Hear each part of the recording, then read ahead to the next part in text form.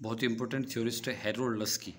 इन्होंने राइट्स के बारे में बात करी और और इन्होंने बहुत सारे इंपॉर्टेंट वर्क लिखे हैं so first thing is we need to see was Harold Laski was an English political theorist economist author and lecture and serve as the chairman of the Labour Party during nineteen forty five to nineteen forty six Laski was also the author of several books including जो important book है authority in the modern state nineteen nineteen that is read to be remembered A Grammar of Politics 1925 liberty in the modern state nineteen thirty तो हमें तीनों जो उनके काम है, ये हमें देखने पड़ेंगे। ये बहुत बार एग्ज़ाम में पूछा जाता है कि एट टाइम्स